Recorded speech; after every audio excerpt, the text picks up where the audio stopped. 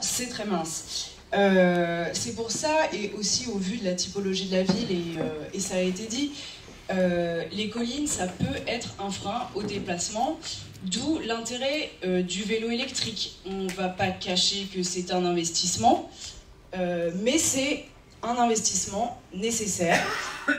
il faut choisir où on décide de mettre les sous.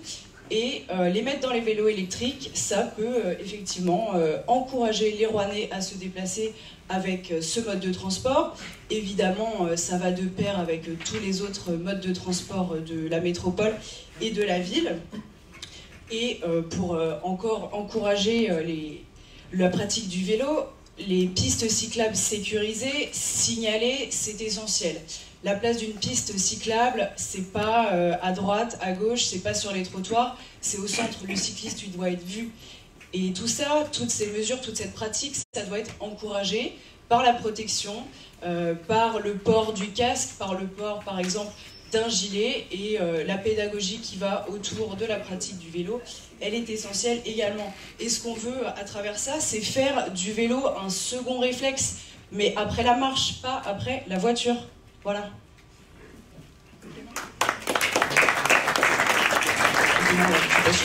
en particulier, mais euh, non, il y a beaucoup de choses déjà qui ont été dites euh, et qui font partie des 16 propositions qu'on a, qu'on a déjà formulées en, novembre. Et donc, euh, le, principe de faire vraiment un, axe routier dédié au vélo, un axe routier pour les vélos, c'est vraiment une de nos propositions fortes, puisqu'effectivement, le, le fait de sécuriser la pratique, pour moi, c'est l'élément principal. Et je fais du vélo pas tous les jours, puisque je travaille à, plus de 15 km, donc c'est quand même assez délicat. Mais, euh, par contre, euh, quand, je, quand dois me déplacer dans la ville, effectivement, c'est souvent un frein de pouvoir faire du vélo, puisqu'on est obligé de rouler sur des trottoirs, on est obligé de se taper des, euh, poules, et donc d'avoir des roues voilées, et du coup de ne pas pouvoir faire de vélo pendant une bonne semaine ou plus, le temps de prendre le temps d'aller chez Guillaume pour pouvoir dévoiler sa roue. Donc ça, ça fait partie des éléments. Je ne sais plus si on avait d'autres choses à mettre en avant sur le, sur le vélo. Mais, c'est vrai que vrai que je, pense qu'il y a déjà eu beaucoup de propositions formulées et, euh, euh, nous ça, fait vraiment partie de, notre, axe, principal pour pouvoir euh, justement amener, à moins de pratiques, à moins d'utilisation de voitures. Attention à respecter les poules, merci. Merci. Alors, euh, en introduction, Antoine euh, évoquait euh, le fait que le vélo, c'était un, sujet peut-être sur lequel on arriverait à, beaucoup se retrouver les uns les autres. Moi, j'ai une petite question. J'aimerais savoir dans la salle combien de personnes sont cyclistes? Eh bien, il y a plein de choses à faire. Et je pense qu'au quotidien, vous devez vous en rendre compte. Si vous allez sur le site de la ville de Rouen, il y a écrit qu'il y a à Rouen 85 km d'aménagement cyclable. Alors, d'aménagement, qu'est-ce que ça signifie euh, bah, majoritairement juste un petit vélo peint sur le sol, mais euh, il y a véritablement quelque chose à faire par rapport à un grand plan vélo à l'échelle euh, de cette ville, et même au-delà, bien entendu. Un plan vélo parce qu'il faut à tout prix non seulement travailler sur la voirie, l'état de la voirie, c'est un sujet de dangerosité assez et très important même pour, pour les cyclistes. Il faut réfléchir à la continuité des voies cyclables, des voies cyclables qui soient sécurisées, euh, la continuité, ça passe par euh, des tronçons qui sont séparés. Donc en effet, sur certains axes, euh, ça signifie, en tout cas sur les grands axes, pouvoir retirer des places de stationnement par exemple, mais de manière complémentaire avec d'autres solutions de stationnement aux extérieurs et aux abords de la ville. C'est aussi une question de matérialisation de la continuité à travers une colorisation des voies cyclables euh, pour que l'on soit capable euh, de savoir euh, où est la priorité entre la voiture et le, vélo qui passe. Je, prends par exemple un, endroit concret qui est aussi bien rue Jean-Le au niveau du musée des Beaux-Arts où la piste s'arrête et tout d'un coup il faut bifurquer ou alors quand on traverse le pont Bois-Dieu et qu'on se retrouve rue Saint-Sever au feu du, cours Clémenceau et au moment où on veut tourner ou traverser tout droit euh, les voitures euh, qui vont vers la droite euh, ne sont souvent pas vigilantes, pas forcément de leur faute, hein. il est aussi difficile de voir le, vélo arriver, donc il y a un vrai sujet sur la sécurisation. Mais si on fait des choses au service des cyclistes, il faut aussi que les cyclistes respectent le partage de l'espace public. Et ça signifie que le cycliste doit être sur sa voie et non pas sur les trottoirs comme, comme souvent. D'autres services à rendre. La question du stationnement a été évoquée. On réfléchit nous aussi à la mise en place de stationnements sécurisés pour euh, lutter contre la dégradation ou le vol pour les personnes euh, en centre-ville qui n'auraient pas les moyens de mettre leur vélo dans leur immeuble ou dans leur lieu d'habitation, avec un abonnement, un abonnement à l'année, qui permettent cela, de développement dans les parkings souterrains, dans les lieux de proximité, dans l'ensemble des quartiers, avec une application, une application qui permette de les recenser rapidement, parce que souvent quand on prend son vélo, qu'on arrive dans un quartier qu'on connaît un peu moins bien, on se demande où on va l'accrocher. Et il faut faciliter la pratique du vélo par l'ensemble, des personnes. Un sujet qui a été évoqué aussi, c'est celui euh, de euh, la remise en place d'un système de location. Euh, ça a existé, ça a fonctionné. Nous, on propose de remettre 1000 vélos d'ici à 2026 en location, de courte, moyenne, longue durée, mais aussi avec option d'achat pour accompagner les personnes qui souhaiteraient devenir propriétaires d'un vélo, notamment par exemple électrique, qui a un coût certain par rapport à un budget. Les règles vélo, ça a été évoqué aussi par rapport au transport en commun. Euh, c'est un sujet qu'il faut, euh, qu'il faut développer. ça, se fait en France, ça se fait aussi beaucoup au Québec. Euh, et ça fonctionne bien.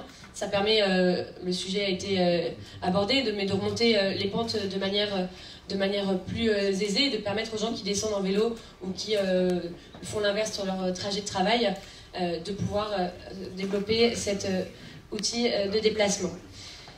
Il y a d'autres sujets, j'arrive peut-être euh, au terme. Euh, j'aimerais juste évoquer aussi euh, une question, celle du, du cyclotourisme. On a l'occasion de faire sur les berges de la Seine ce qui s'est fait dans la vallée de la Loire. Et il faut développer l'usage du vélo dans ce cadre-là, parce que c'est un vecteur d'attractivité, c'est un vecteur de, de, venue de touristes sur le territoire, c'est un vecteur d'économie qui est aussi important et à mettre en avant.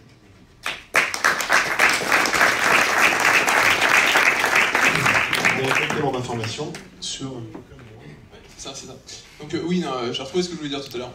Euh, en fait, c'était précisément sur l'offre de vélo, euh, mais bon, encore une fois, ça fait partie de tout ce qui a déjà été formulé, mais ça, ça fait vraiment partie aussi de nos 16 premières propositions, et je vais essayer de parler un peu moins vite, puisque vous m'avez fait la remarque. donc ça fait aussi partie de nos 16 premières propositions d'avoir vraiment un, véritable réseau et une véritable offre de vélos de vélo électriques pour pouvoir pratiquer le vélo, pour pouvoir pratiquer le vélo beaucoup plus facilement dans Rouen. Et euh, notamment, euh, notre volonté, c'est d'avoir une offre qui soit accessible euh, beaucoup plus facilement, puisque un des freins à, ce qui a déjà pu être mis, mis en place dans le passé, c'est le, le, coût de la location. Et donc notre, notre proposition est donc d'avoir un coût inférieur à 30 euros par mois. Je sais que par exemple, cette location de, vélo électrique, c'est quelque chose qui est en pratique, mis en, mis en pratique sur la ville d'Orléans par exemple. Et sur la ville d'Orléans, je crois que le coût par mois est de 15 euros seulement.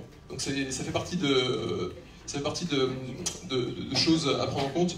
Euh, le coût et les subventions, c'est vraiment une, partie qui va être nécessaire à, mettre en place. C'est sûr que c'est pas habituellement euh, notre volonté euh, pour une liste de droite de vouloir trop subventionner, mais c'est quand même quelque chose qui est nécessaire pour pouvoir amener les gens à utiliser le vélo.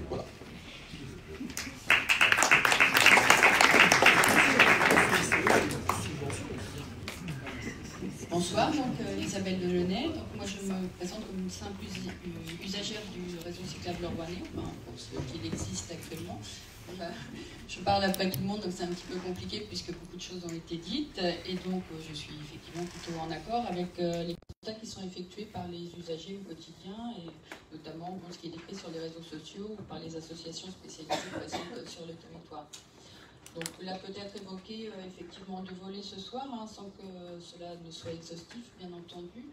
Donc euh, d'une part l'aspect sécurité, d'autre part l'aspect développement de la pratique. Euh, donc nous, ce que nous souhaitons avec Point Autrement en priorité, effectivement, c'est donc en finir avec l'absence des continuités des voies cyclables. Effectivement, sur le, sur le document que vous nous avez fait parvenir sur les pistes de réflexion à destination des candidats, comme le disait Madame Caron, on, identifie euh, la, rue Jean Le Canuet avec une piste qui, euh, qui s'arrête brutalement. Ce qu'il faut savoir aussi derrière, c'est que quelques mètres plus loin, le cycliste en question euh, va se trouver dans l'angle mort d'une sortie de tunnel, enfin de, parking souterrain, et donc ce qui pose effectivement de nombreux problèmes de sécurité, comme on peut en voir partout sur le territoire de la commune actuellement. D'où la nécessité effectivement de développer la signalétique euh, qui est quasi euh, inexistante sur les places euh, du cycliste dans la circulation, et notamment en termes de priorité sur certains axes ou sur certaines intersections. Donc la sécurité euh, véloroutière, c'est également aussi de prévoir des itinéraires de déviation lorsqu'une piste est rendue inaccessible pour des causes de travaux, par exemple. Donc c'est de prévoir un itinéraire sécurisé euh, qui soit indiqué comme il se doit. C'est également aussi de mener une politique volontariste pour lutter contre le stationnement euh, sur les voies cyclables. Je rappelle que la semaine dernière à Toulouse, quelqu'un est décédé parce qu'un camion, effectivement, s'est égaré sur une voie cyclable cycliste a, dû faire un écart. Donc ça, c'est sur le volet euh, sécurité, par exemple. Donc sur le volet du développement de la pratique, euh, c'est mettre aussi en place une signalétique directionnelle qui est pour le coup inexistante sur, euh, sur la ville de Rouen. D'ailleurs, moi, je, je, suis assez affligée, c'est de pouvoir lire encore aujourd'hui sur le site de la ville de Rouen qu'il faut préparer son itinéraire à l'avance pour éviter d'avoir de mauvaises surprises à vélo. Donc ça, c'est un texto qui est écrit sur le, site de la ville. Alors moi, quand je vais visiter une ville, euh, soit en France, soit à l'étranger, même lorsque je ne maîtrise pas la langue, euh, je peux aller visiter ce que j'ai envie d'aller visiter sans même avoir à prévoir mon itinéraire. Euh, donc je trouve ça complètement inconcevable de ne pas pouvoir le faire dans ma propre ville. Ça, c'est une première chose. Et je voudrais faire aussi le lien effectivement avec la scène à vélo. Euh, donc effectivement, sur une question de signalétique euh, directionnelle, il va falloir vraiment s'y mettre et à court terme.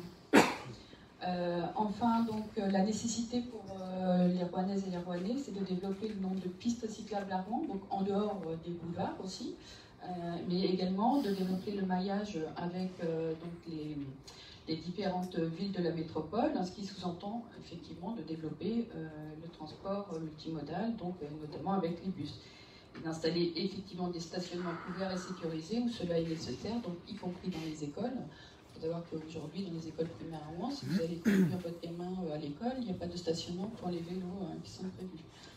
En tout cas, très très peu. Donc enfin, et pour augmenter effectivement la part modale du vélo, il convient de convaincre euh, les non-initiés, parce qu'ici on est dans un public d'initiés. il y a pas mal de gens qui, ont appris à faire du vélo, euh, qui ont oublié, il y en a qui n'en ont jamais fait, effectivement, de faire des sessions de formation euh, pour, apprendre cette pratique, mais pas uniquement, ça veut dire aussi prévoir des déplacements en ville avec des, petits groupes pour que les nouveaux pratiquants puissent s'approprier l'environnement urbain parce qu'on ne pratique pas le vélo en urbain comme on le, prépare, comme on le pratique à l'extérieur. Donc nous, ce que nous souhaitons effectivement avec le Je, je précise juste que les 4 minutes sont finies, donc euh, il faut euh, donc c'est juste terminer. construire un plan d'action en fait avec l'aide des usagers et des associations déjà bien implantées afin de profiter des avancées à brève échéance sur le terrain. Voilà, merci pour Complément d'information sont pour rebondir du coup sur les, sur les derniers propos qui ont été évoqués, qui avaient déjà été évoqués avant, sur euh, celle de la sensibilisation, celle de, de l'éducation, à travers euh, une école euh, du vélo. bien entendu, il faut sensibiliser, éduquer à la pratique, à tout âge de la vie d'ailleurs, puisque personne n'est censé avoir entièrement les, tous les bons codes et toutes les bonnes pratiques.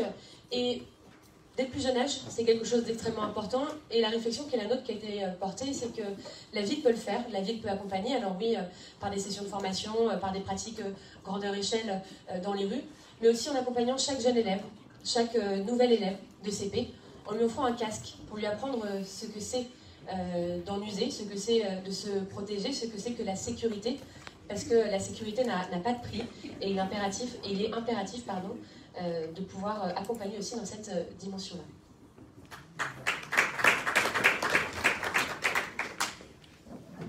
Bonsoir à toutes et tous. je me vais, verrai mieux. Alors, nous, avec le collectif Fier de Rouen, on a bâti un certain nombre de propositions qui partent du postulat et du préalable que le mode de déplacement à vélo, c'est un mode de déplacement qui est sérieux, qui est joyeux, qui est crédible et qui surtout est extrêmement efficace.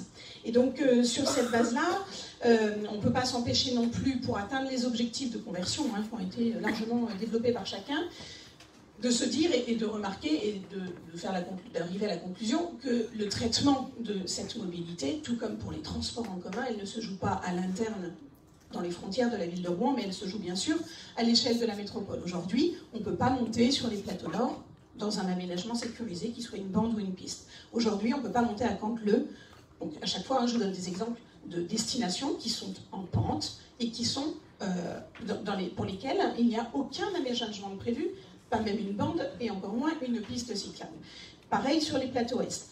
Donc la première des priorités pour nous, c'est de créer des axes structurants, des axes structurants, mais qui permettent euh, pas d'aller euh, du boulingrin euh, à la clinique Mathilde, mais qui permettent vraiment d'irriguer la métropole d'est en ouest, de nord au sud, et, prioritairement sur les, destinations pentues.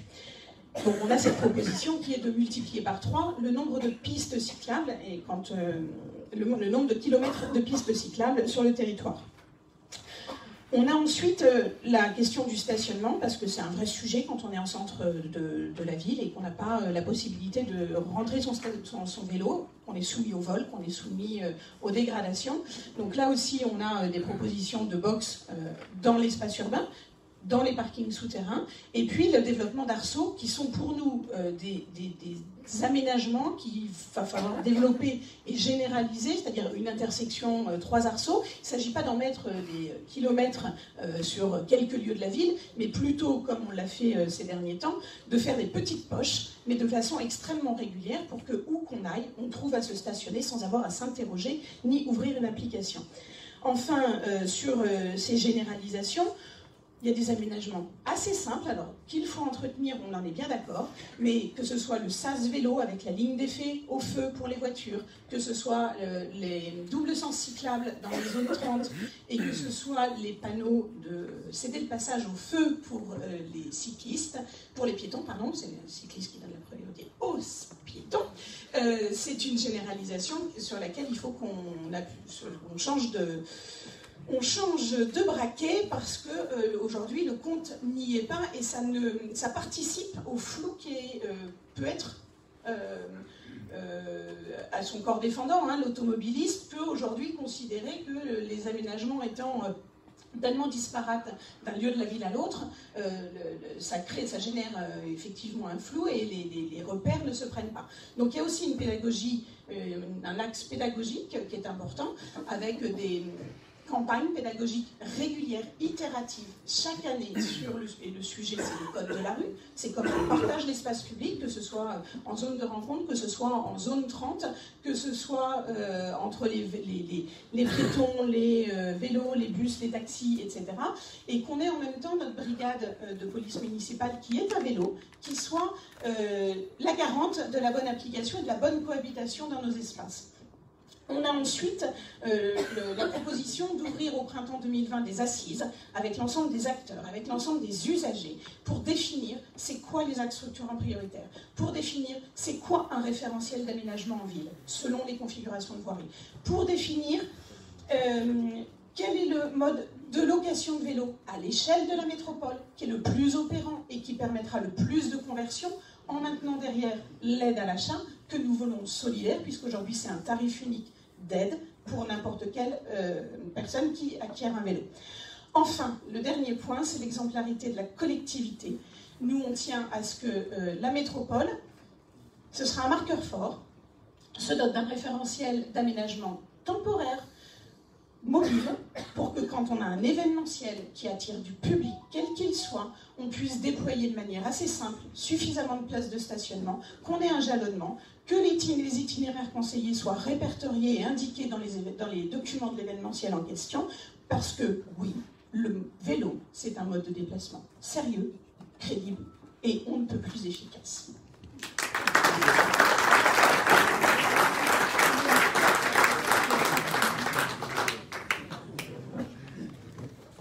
Merci.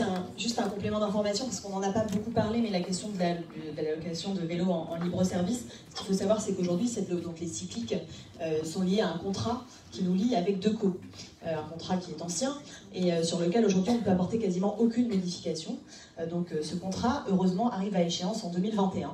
Et donc nous, nous le dénoncerons, nous arrêterons ce contrat avec Deco qui n'est pas satisfaisant à plusieurs titres. D'abord parce que nous souhaitons mettre fin à la présence de publicité dans l'espace public et que Cyril Moreau a expliqué tout à l'heure que ce contrat en fait définissait que l'emplacement des vélos en cyclique devait être euh, définie en fonction de ce que Deco estimait être le plus euh, intéressant euh, pour euh, ses publicités, ce qui est complètement absurde, n'a aucun sens.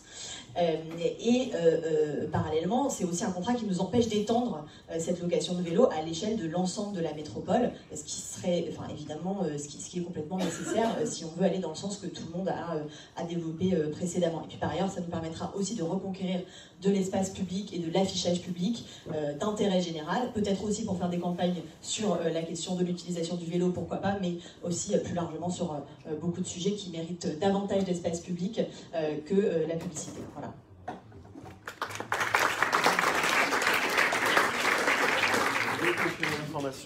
Oui, alors euh, personne n'a parlé, mais euh, du travail qu'on doit faire aussi avec les entreprises et les administrations. C'est-à-dire qu'il faut adopter des plans vélo euh, directement auprès des acteurs économiques.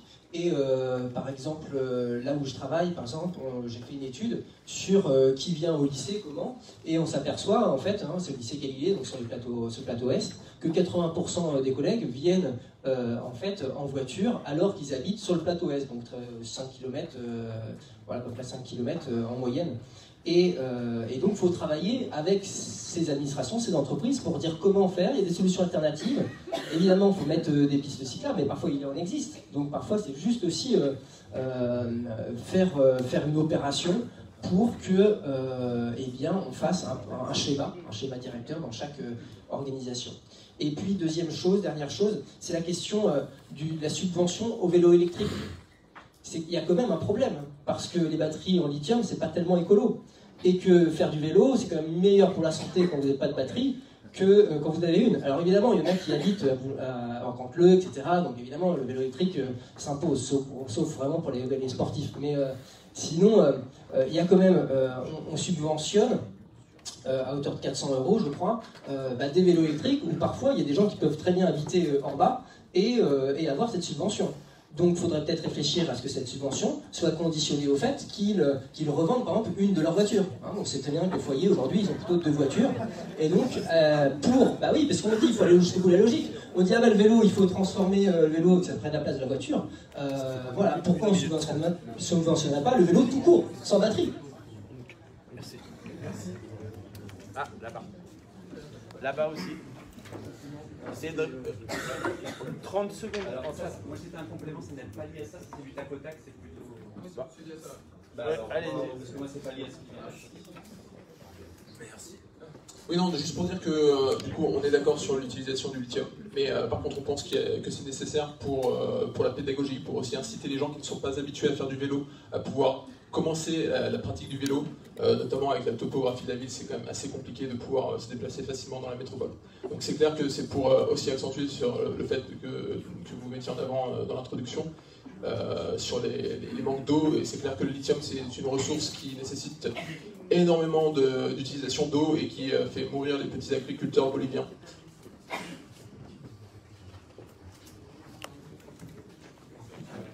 Merci. Juste un point de complément d'information sur euh, cyclique. Parce qu'effectivement, on peut partager sur la question euh, de euh, ce qui a été dit sur Deco, etc. J'aurais juste complété par un, autre point, c'est qu'on voit aussi que les usages évoluent sur le vélo standard. C'est plus la même chose qu'il y a 5 ans, il y a 10 ans, on le voit aussi. Il y a d'autres types de mobilité qui apparaissent. Et puis il faut dire un autre point, c'est que cyclique est communal. Et je pense que tous ici, on sait que, on nous a tous exprimé le fait que quand vous avez un système de vélo de type cyclique, dont l'usage, encore une fois, évolue aujourd'hui avec d'autres types, mais qui en plus est restreint au périmètre de la ville-centre, il y a un problème. Donc euh, il nous semble qu'il faut travailler sur un système de mobilité qui soit un peu plus large et un peu plus adapté aux usages contemporains.